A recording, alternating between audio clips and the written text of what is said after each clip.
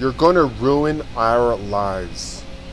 Why are you ruining our lives? Why are you giving all of the money that we have, our entire life savings, to this person that I don't even know? That is what Jeff's wife said to Jeff when he told her and explained that he was going to take the $50,000, everything that they had in the bank, he was going to take it out and he was going to give it to this person named Titan who he had worked with. $50,000 which was what his parents had left him, both who had just passed away. You see, Jeff came to me and he said, Titan, my eyes are going, my hands are going. I can't work in the trade for much longer. My parents just passed away and I have $50,000. This is what they left me. It's all I have in this world. I used to own my own machine shop, but I lost it. And I see a talent in you I've never seen before. And if I invest it, I'm going to lose it. So I want to give it to you and I want to invest in you, Titan. You need to have your own machine shop. At that point, I was like, Jeff, I'm not going to take your money. Like, I'm not doing it.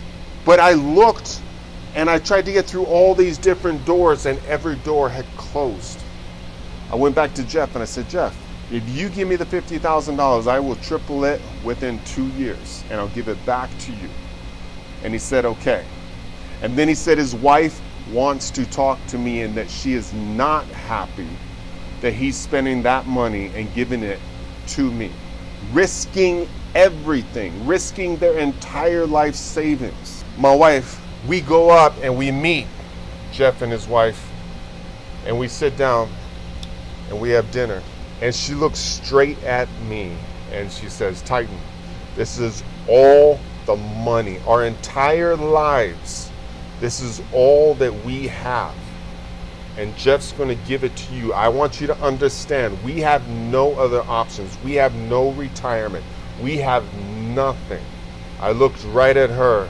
I told her, I understand. I looked at Jeff and I said, I understand.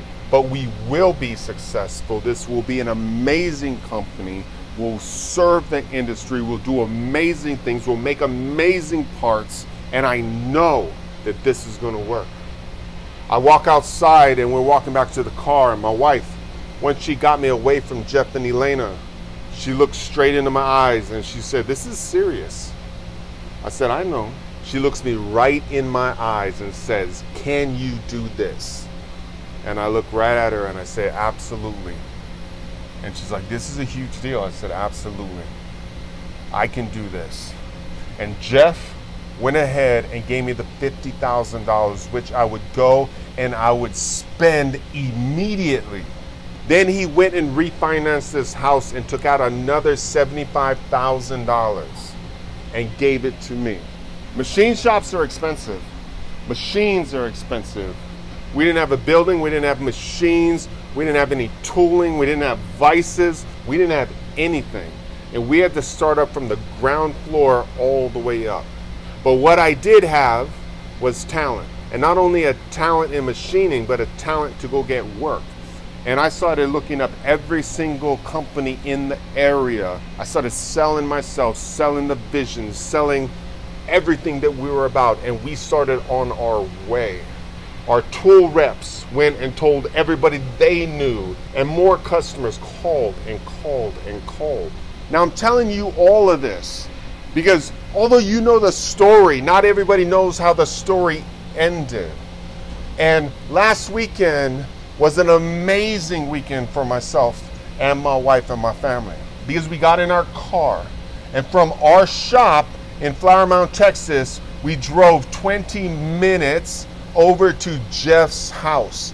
Yes, Jeff lives in Texas, and Jeff has a beautiful house that he purchased from the money that he made from the investment in me.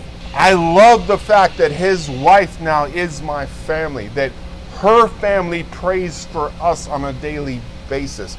I love the fact that she can stand there solid with a retirement and know that the decision that Jeff made was the most solid decision of his life because now they have a beautiful house in Texas. He gave me 125,000. I gave him back 625,000. And then one day I was talking to my wife and I was talking about how I had been homeless, how I'd gone to prison, how I had no opportunities, how nobody would ever invest in me. All the doors had closed, and now we're touching the world. We're doing all of these amazing things. So I went back to Jeff and I said, you know what? That 625 is not enough. On top of that, I'm going to pay you $2,000 every single month until the day that you die. Because Jeff, I love you and I appreciate you and nobody would have done that. You see, I understand the platform that I am on. I understand that I have a lot of people looking at me. But it wasn't just me. There were people along the way that helped me get to where I am. And it's important to give back and to acknowledge those that helped you. And as you rise up, you need to constantly look around for opportunities to help others who are on a lower level, just like you used to be. This is the greatest trade in the world. Today we have 150,000 students. We have millions of people that watch our YouTube videos, our Facebook videos, Instagram, and all of it. We're bringing incredible awareness. But all of this good would not have happened if Jeff hadn't taken that incredible chance on me. So today I want to say, Jeff, thank you, sir. I love you. I love your family. And I'll never forget what you did for my family. Boom.